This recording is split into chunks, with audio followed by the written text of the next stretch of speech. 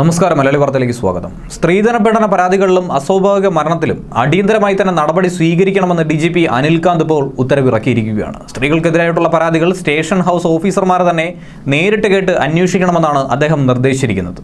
സാമൂഹ്യ മാധ്യമങ്ങളിൽ പോലീസുകാർ രാഷ്ട്രീയം പറയരുതെന്നും സ്റ്റേഷനുകളുടെ പ്രവർത്തനം കാര്യക്ഷമമാക്കാൻ വേണ്ടി ഡി ജി പി ഇറക്കിയിട്ടുള്ള ഈ ഒരു സർക്കുലറിൽ പ്രത്യേകം പരാമർശിക്കുന്നുണ്ട്. പോലീസ് സ്റ്റേഷനുകളുടെ പ്രവർത്തനങ്ങൾ കൂടുതൽ ഫലപ്രദമാക്കുന്നതിനായി പുറപ്പെടുവിച്ച മാർഗനിർദ്ദേശങ്ങളിലാണ് ഇക്കാര്യങ്ങളെല്ലാം ചൂണ്ടിക്കാട്ടുന്നത്. ഇതിൽ മറ്റ് നിർദ്ദേശങ്ങൾ ഇങ്ങനെയൊക്കെയാണ്.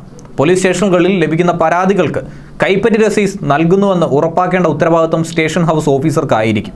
പോലീസ് സ്റ്റേഷനുകളിൽ എത്തുന്നവരുടെ പരാതി ഇൻസ്പെക്ടർ തന്നെ നേരിട്ട് കേൾക്കേണ്ടതാണ്.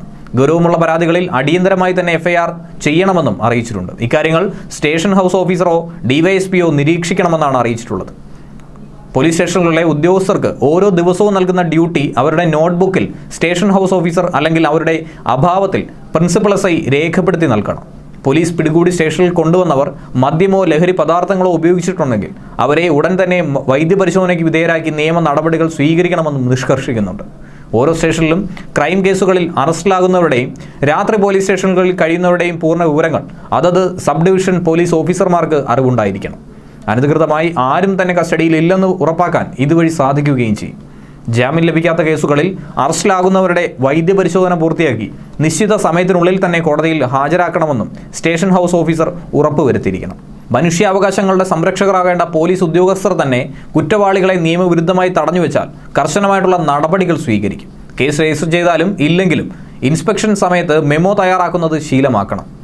നാട്ടുകാർ പിടികൂടി ഏൽപ്പിക്കുന്ന കുറ്റവാളികളുടെ ദേഹപരിശോധന നടത്തി പരിക്കുകൾ കണ്ടെത്തിയാൽ അക്കാര്യം ഇൻസ്പെക്ഷൻ മെമ്മോയിൽ രേഖപ്പെടുത്തണം. തുടർന്ന് വൈദ്യപരിശോധന നടത്തി തുടർ നടപടികൾ സ്വീകരിച്ചിരിക്കണം. പോലീസ് കോഡ് ഷാഡോ പോലീസ് എന്നിവർ പിടികൂടുന്ന ക്രിമിനലുകളെ ചോദ്യം ചെയ്യാനായി ചില സ്റ്റേഷൻ ഹൗസ് ഓഫീസർമാർ മടി കാണിക്കുന്നതായും ശ്രദ്ധയിൽപ്പെട്ടിട്ടുണ്ട്.